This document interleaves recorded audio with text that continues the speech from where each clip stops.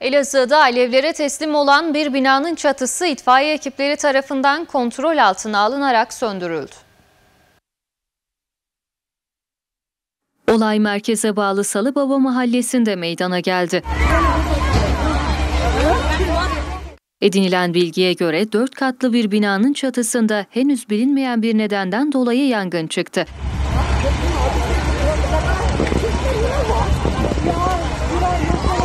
Dumanları gören vatandaşların haber vermesi üzerine olay yerine itfaiye ve polis ekipleri sevk edildi.